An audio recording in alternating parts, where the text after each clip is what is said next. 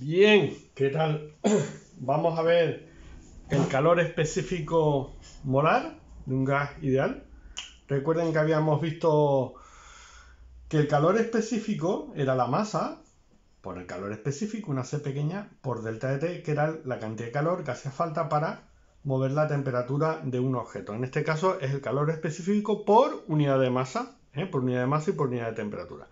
Pues bien, cuando Definimos calor específico molar, molar, que es lo que vamos a trabajar aquí, va a ser en vez de por masa, por el número de moles, y el calor específico molar, vamos a llamarlo M, va a ser por número de moles por unidad de temperatura. Las calorías por número, o, el calor o la energía por el número de moles por la unidad de temperatura. Es otra manera de referenciar a la masa.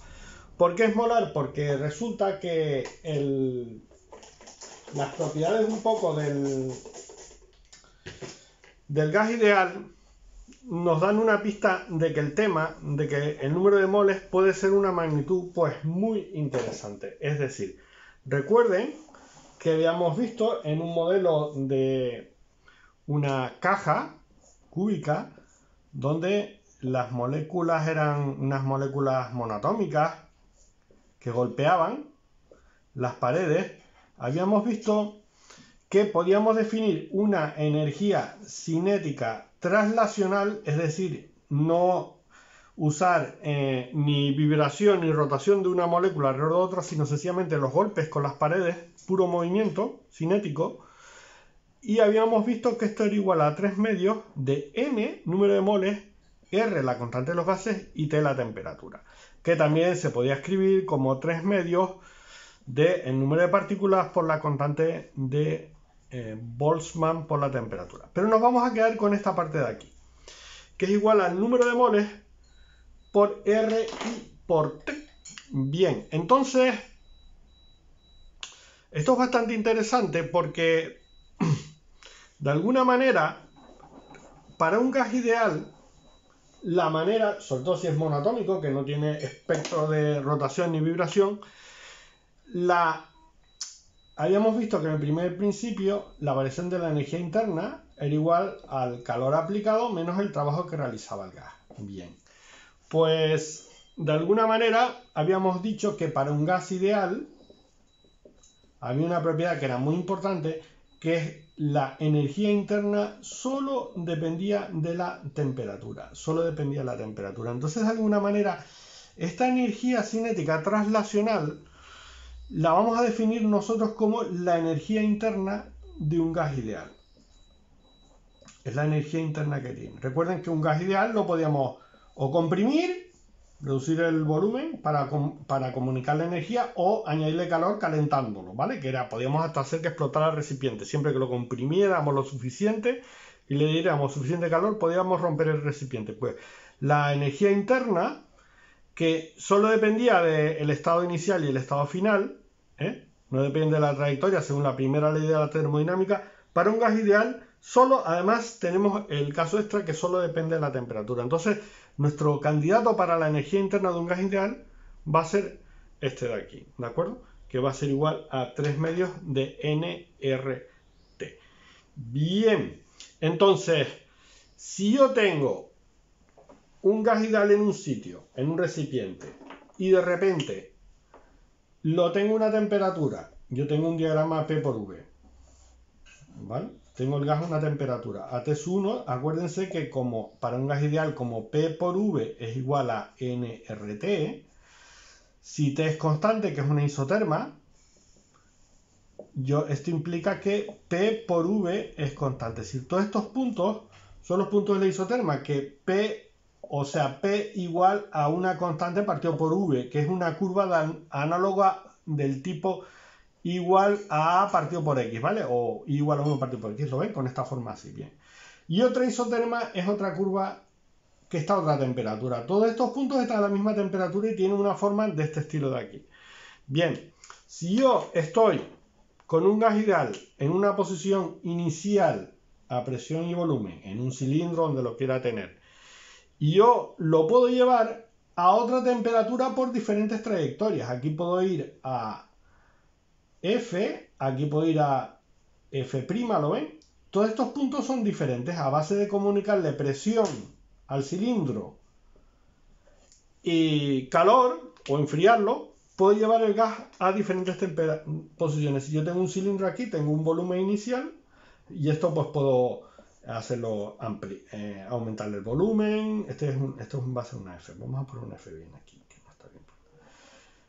Pues puedo hacer un, dejar que el, trabajo que el gas haga trabajo, le puedo comunicar calor, le puedo enfriar de diversas maneras y todo van a ir a las mismas temperaturas. Pero claro, evidentemente hay una cosa clara. La energía interna para un gas ideal solo va a depender de la temperatura. Entonces, la variación de energía interna, que va a ser igual al calor que le aplicamos menos el trabajo, para todos estos casos va a ser eh, diferente. Si la, si la variación de energía interna es la misma, porque solo depende de la temperatura para F, para F' y para F segunda, ¿eh? entonces resulta que eh, eh, digamos que esto de aquí va a ser diferente, ¿vale? El calor aplicado va a ser que va a ser igual al trabajo más la variación de energía interna, va a ser diferente para cada una de las trayectorias, ¿vale? Esto de aquí, digamos que será eh, el calor que será igual, perdón, a la variación de energía interna, vamos a ponerlo correctamente, aunque sea igual, será diferente para cada trayectoria.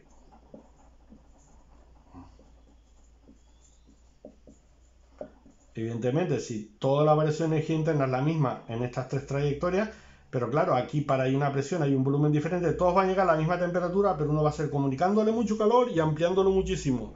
Otra, a lo mejor comprimiéndolo y enfriándolo. O sea, va a ser diferente en cada una de las trayectorias y todo va a ser a la misma temperatura. Bien, para un poco eh, tratar de estudiar este tipo de casos, vamos a definir dos eh, calores específicos molares en dos casos diferentes. Va a ser el calor específico por unidad de mol molar y lo vamos a definir a volumen constante y a presión constante. Es decir, yo puedo llevar desde el punto inicial a otra temperatura un gas, pero la variación de energía interna va a ser la misma, pero por ejemplo, puedo, si le tengo que aumentar la temperatura, lo que puedo hacer, puedo hacer dos cosas si el volumen es constante, lo tengo en un cilindro y lo dejo con el mismo cilindro, la, única manera que tengo de que la temperatura aumente es calentándolo, eh, inyectándole calor. ¿De acuerdo? Entonces, la cantidad de calor que le tengo que meter va a ser igual a n número de moles, el calor específico molar a volumen constante, que lo acabo de definir, aquí se sube por la variación de temperatura. ¿Vale? Es la cantidad de calor que le metido. Y análogamente, yo por ejemplo, puedo comunicarle calor, pero eh, tengo el punto inicial es el mismo, digamos este es el estado inicial, aquí llegó un F y a lo mejor puedo llegar a un F' diferente dejando que el gas haga trabajo y que aumente el volumen. Pero resulta que tengo que añadirle mucho más calor tengo que añadirle mucho más calor para llegar a la misma temperatura porque el gas ha hecho trabajo y ha aumentado el volumen. Entonces es otro calor diferente que el que voy a tener que aplicar al anterior, pero va a ser igual número de moles por la capacidad calorífica a presión constante, porque he dejado que el gas eh, se expanda a presión constante, eh, soportado por la presión atmosférica, por delta de T. ¿Lo ven? Son dos calores diferentes. Los dos van a llegar a la misma temperatura, pero uno va a tener una capacidad calorífica y otro va a tener otra capacidad calorífica diferente. ¿De acuerdo? Bien, vamos a centrarnos un poco en el... Bueno, en el... Bueno, ya lo dejamos para otro vídeo. En el de volumen constante vamos a empezar en otro vídeo por el de volumen constante que va a ser silencio, el más fácil, el de más fácil tratar porque resulta que al ser el volumen constante, la cantidad de trabajo que va a realizar el gas va a ser cero. Como la cantidad de trabajo que va a realizar el gas va a ser cero, resulta que me voy a encontrar que la variación de energía interna va a ser igual al calor aplicado. Entonces la variación de energía interna, en este caso, en este caso, va a ser exactamente igual al calor, pero yo sé también que un candidato para la energía interna es igual a 3 medios de nRT. Entonces fíjense que puedo obtener una relación bastante interesante sobre la capacidad calorífica a volumen constante, ¿de acuerdo? Pero bien, eso lo vamos a dejar para el, para el siguiente. Pero en principio, recordemos lo siguiente, para resumir, que podemos definir capacidades caloríficas a volumen constante y a presión constante. Por ejemplo, quizás para acabar de concretar, en el diagrama P por V, yo tengo esta isoterma AT1 y tengo esta otra isoterma AT2. Para ir del punto, si yo estoy en una temperatura y por ejemplo voy a estar a volumen constante, como el volumen es constante y este es el punto inicial y el volumen es constante, una manera de ir a la temperatura final va a ser usar esta trayectoria, ¿lo ven? Voy a presión, ven, a volumen constante, ¿lo ven? Esta línea recta de aquí. Y la manera, eh, la otra manera de ir a la siguiente temperatura, bueno, esto en isoterma habría que hacerlo un poquito más así para que entrara en el dibujo. La otra manera de ir a presión constante sería usar esta trayectoria de aquí, ¿lo ven? Ir a presión constante. Para ir a otro punto final diferente, pero que va a estar a la misma temperatura que aquí, pero que a lo mejor ha habido que dejar que se expanda el gas y añadirle mucho más calor. Pero ambos van a llegar a la misma temperatura final. Entonces, en esta de aquí vamos a definir el C sub V, el calor específico molar a volumen constante, y en esta de aquí el C sub P, el calor específico molar a presión constante. ¿Vale? Venga.